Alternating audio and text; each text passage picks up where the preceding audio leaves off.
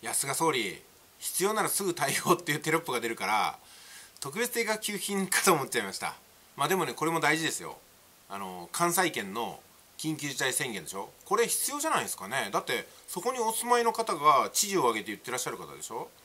これはすぐにそうした方がいいんじゃないですか？まあでも緊急事態宣言をしたからといって特別なねことが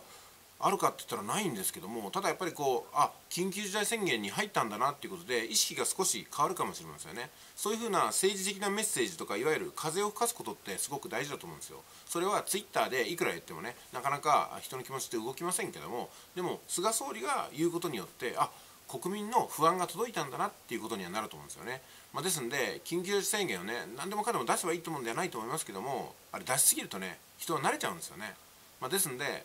うん何とも言えないんですけどもここで一つちょっと出した方がいいのかなとは思います。ただ私の計算によるとですね関東の1都3県でしょ？それから関西の方もそうでしょ？2つ合わせると大体5 6千万人ぐらいになるのかな、うん、そう考えるとちょっと日本人のね人口の大半が緊急事態宣言にその影響下に入ると思いますんでもういっそのこと全国一律でもいいのかなと思いますけどもね。で、えー、私の狙いは 結局はあの国民全員にお金を配った方がいいんじゃないですかってことと消費税の凍結もしくは廃止ということでございます。まあ菅総理この動画を見たらそうやってください。まあ見ないと思いますけどもね、えー、それではいってらっしゃい。